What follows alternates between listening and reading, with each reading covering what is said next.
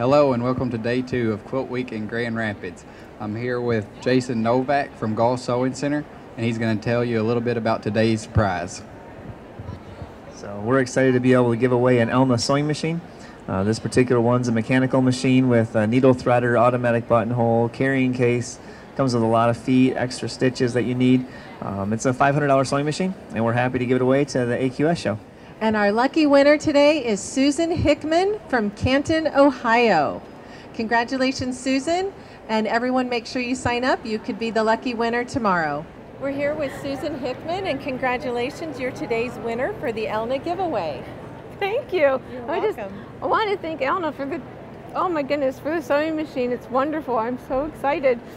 I'm really so excited. I just don't know how much to thank you. Um, my little sewing machine at home is just that. It's just a little one, and I always wanted a good one. And now I think I'm getting one of the best. Absolutely. So thank you. Thank you, Elna, so much.